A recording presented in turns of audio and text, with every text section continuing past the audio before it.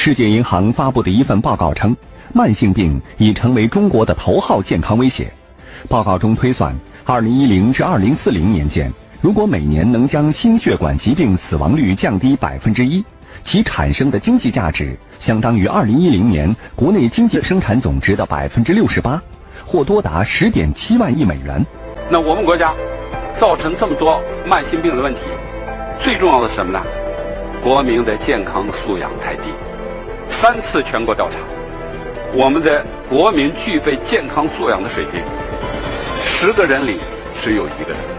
可千万别演变成了，好像我活了八十五，七十就成了病秧子，七十五就常年跟医院打交道。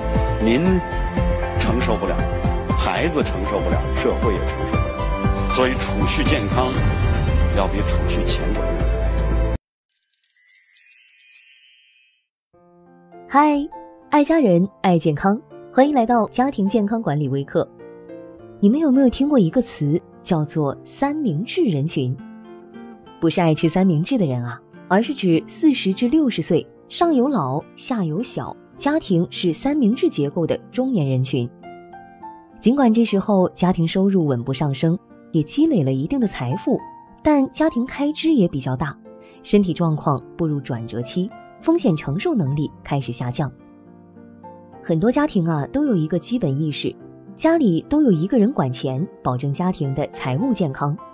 可是有没有一个懂得营养与健康的人站出来负责管理全家人的饮食与健康呢？身为三明治的我们，可能面临着体质变差、失眠、焦虑、脱发、肤色暗沉、越来越显老。更麻烦的是，自己的健康问题还没解决。家人的营养健康却又困扰着你，爸妈上了年纪，慢性疾病缠身，怎么吃才健康？孩子正长个，吃什么能真正补充营养？这比做个一日三餐要求更高，不仅是不让家人饿着，还得通过营养学储备，有针对性的解决家人每阶段的身体问题。前段时间啊，我身边的一位准妈妈向我诉苦。说第一次当妈，感觉自己什么都不会，在孩子的健康上更是抓瞎。孩子起疹子，马上去医院；孩子吐奶，立刻百度，十分懊恼自己为什么不是学医的。其实啊，学点健康营养的知识比学医更实用。日本家庭为什么孩子们的抵抗力普遍更高，全家也更长寿？其中重要的一点啊，就是有人来管理整个家庭的健康。很多妈妈怕孩子营养摄入不够科学，就会去考营养师资格证。在日本，大约有两百所营养师培训学校，每年有将近两万人获得营养师资格，其中超过百分之六十是女性。我曾经在 ins 上被一位智慧优雅的日本主妇妈妈圈粉，他们家的一日三餐啊，不仅便宜，而且还营养精致，每顿饭都会考虑到膳食营养的搭配。既能考虑到孩子成长的营养所需，也会考虑到丈夫加班干活的体力脑力补充，自己的美肤营养也不落下，看起来就像个二十出头的小姑娘。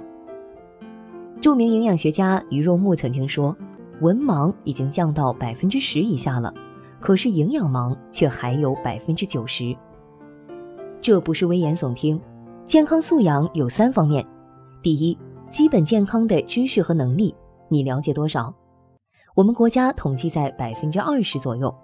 第二，行动，知道并且能做的人只有百分之十。第三，这些行为素养的基本技能养成，也就是说，我懂得知识，还得养成持之以恒的生活习惯，这样的人就更少了。而生活习惯大多是家庭习惯养成的，所以如果有一个家庭健康管理员站出来做表率。那一家人都会慢慢被你影响和改变。二零二零年，因为疫情，大家都知道了免疫力和健康的重要，所以我报名了营养健康顾问考试。从一本本专业书、一堂堂专业课，到一次次选购食材、一顿顿变着花样的饮食搭配，我从一个吃货蜕变成了吃精。孩子的零食跟以前不一样了。他超爱吃的薯片、糖果、蛋糕、瓶装饮料，被我的麦片烤鸡翅、水果蛋白饮、DHA 软糖小点心所代替。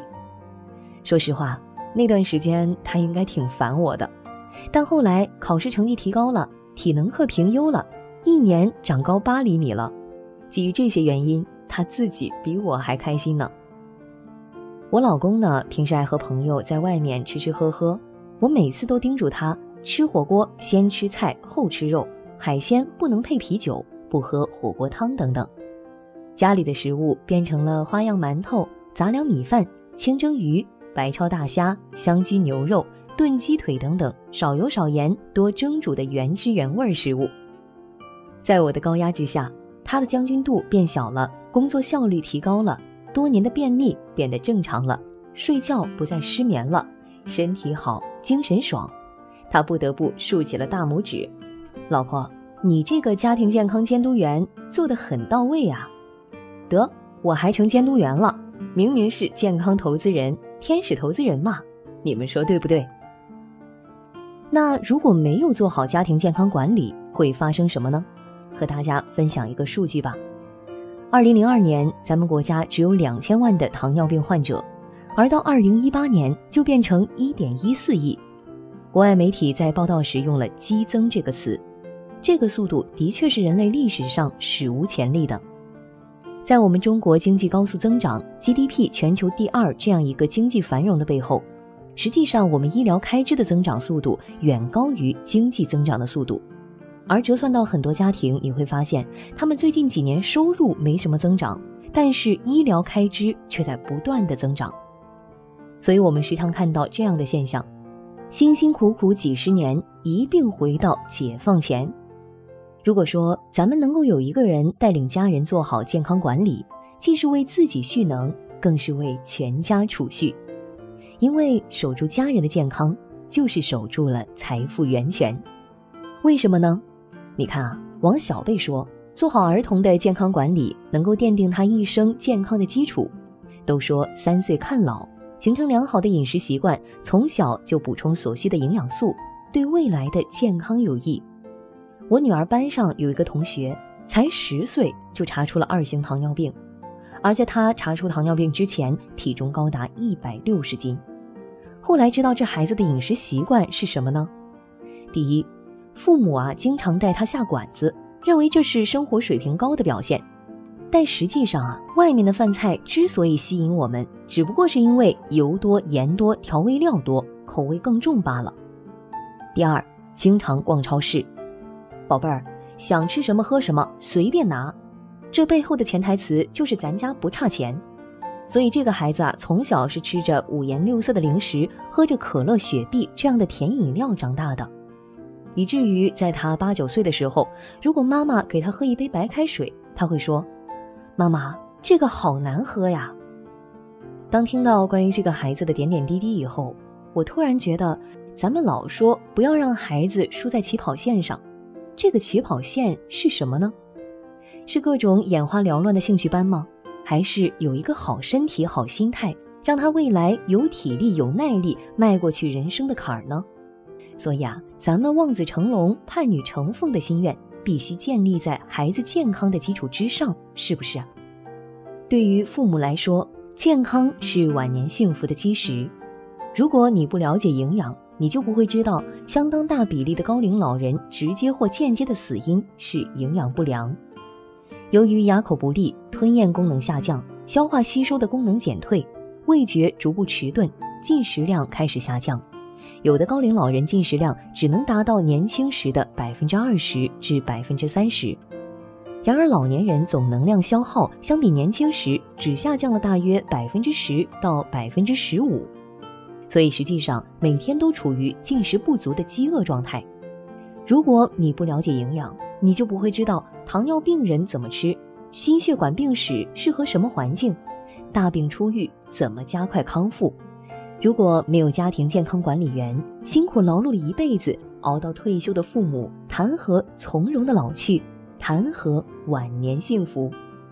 对于咱们夹在这个三明治中间的自己来说，人到中年两头忙，拼命工作的同时，还要赡养老人、照顾下一代，往往对待自己的健康问题上糊里糊涂，似乎每天都要对自己打一针鸡血。站直了，别趴下。可实际上，猝死、抑郁让多少事业有成的中年人防不胜防。很多心脑血管病、糖尿病、癌症、慢性呼吸道疾病等，虽多见于老年，但始发于中年。为什么不把健康交给自己，在有限的精力中活得更有品质呢？上工治胃病，中工治郁病，下工治已病。你会为自己和家人做出怎样的选择？是做上工，改变生活模式，将疾病防患于未然？还是沿袭不良生活习惯，等待发病后再去亡羊补牢；是选择安全有效的营养调理方案，还是心甘情愿地接受有副作用的处方药物或者手术？是选择高标准有品质保证的营养素，还是贪便宜使用安慰剂？在我们为家人做出决定前，一定慎重选择，因为健康就是一种选择和责任。其实。正因为我们每个人心中都存有爱，对父母、对儿女、对爱人、对自己，如果真的能够走出来，了解营养学，管理好自己和家人的生活，并做出正确的选择，才能真正享受健康，更好的传递爱。你们说是吗？